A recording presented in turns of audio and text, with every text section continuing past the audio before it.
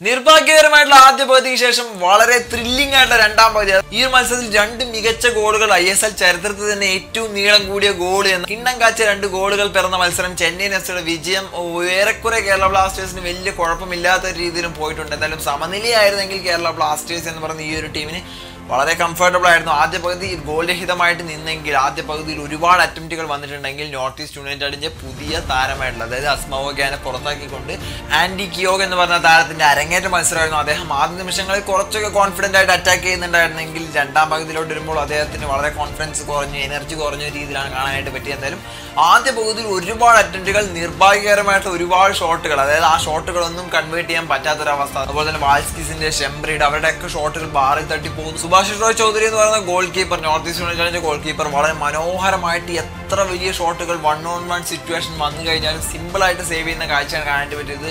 പക്ഷേ രണ്ട് ഗോളുകൾ കൺസീഡ് ചെയ്തത് അദ്ദേഹത്തിന്റെ കരിയറിൽ ഒരു ചെറിയൊരു ബ്ലാക്ക് മാർക്കായിട്ട് മാറുകയാണ് ചെയ്തത്. എന്നാലും ആദ്യ പകുതിയിൽ അദ്ദേഹത്തിന്റെ കിണ്ണം കച്ച് സേവുകളും കാര്യങ്ങളും കാണാനായിട്ട് പറ്റിയിട്ടുണ്ടായിരുന്നു.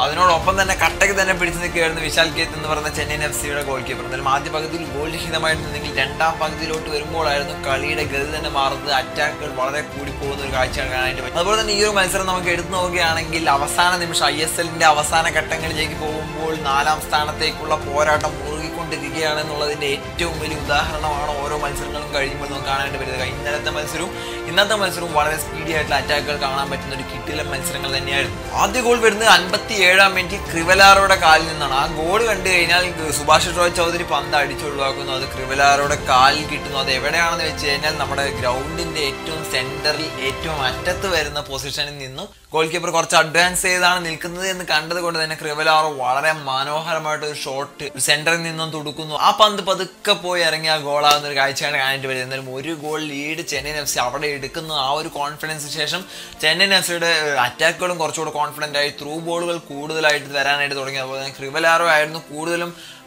പന്ത് മുന്നോട്ട് കൊണ്ടുപോകാനുള്ള അതായത് പ്ലേ മേക്ക് ചെയ്യാനുള്ള ഒരു ചാൻസസ് ഒക്കെ ക്രിയേറ്റ് ചെയ്തുകൊണ്ടിരിക്കുന്നുണ്ടായിരുന്നു എന്തായാലും അതിനുശേഷം ഒരു ത്രൂ ബോൾ ലഭിക്കുന്നു. അത് ഷെംബറി മുന്നോട്ട് കൊണ്ടുപോകുന്നു. ഷെംബ്രി ആ പന്ത് അടിക്കുന്നു. അതായത് വൺ ഓൺ വൺ സിറ്റുവേഷൻ ആണ്. ഭാഷ ഷോ ചൗധരിയാണ് മുന്നിൽ നിൽക്കുന്നത്. അദ്ദേഹം മനോഹരമായിട്ട് ആ പന്ത് സേവ് ചെയ്യുന്നു. റീബൗണ്ട് ആയിട്ട് വരുന്നത് നോർത്ത് ഈസ്റ്റ് യുണൈറ്റഡ് താരത്തിന്റെ കാലിലാണ് അദ്ദേഹം അടിച്ചൊഴിവാക്കേണ്ട പന്ത് ഒരു പാസ് കൊടുക്കാനായിട്ട് ട്രൈ ചെയ്തു. അത് സിമ്പിളായിട്ട് കുറുക്കനെ പോലെ പതുങ്ങിയിരുന്ന് വാൽസ്കിസ് വന്ന് പന്ത് കളക്ട് ചെയ്ത് ഒരു സിമ്പിളായിട്ട് ഒരു ഷോട്ട് അടിച്ച് അൻപത്തി ഒൻപതാം മിനിറ്റിൽ രണ്ട് മിനിറ്റ് ഗ്യാപ്പിനുള്ളിൽ രണ്ട് ഗോളുകൾ വന്നൊരു കാഴ്ചയാണ് അതിന്റെ പറ്റിയത് അതിനുശേഷം വീണ്ടും ചാങ്തയുടെ ഒരുപാട് ഷോട്ട്സ് ഓൺ ടാർഗറ്റ് കണ്ടിട്ടുണ്ടായിരുന്നു താപ്പയുടെ ഷോട്ടുകൾ കണ്ടിട്ടുണ്ടായിരുന്നു ഷെംബ്രിയുടെ ഷോട്ട് ഉണ്ടായിരുന്നു. പക്ഷേ അതൊന്നും പിന്നീട് ഗോളുകൾ കൺവേർട്ട് ചെയ്യാൻ പറ്റിയിട്ടില്ല. അതിനുശേഷം സുഭാഷ് റോയ് ചൗധരി വീണ്ടും കുറച്ചുകൂടി കോൺഫിഡന്റ് ആയിട്ടുണ്ടായിരുന്നു. North East United as comparatively കുറച്ച് ലോ എനർജറ്റിക് പെർഫോമൻസ് ആണ് കാഴ്ചവെച്ചത്.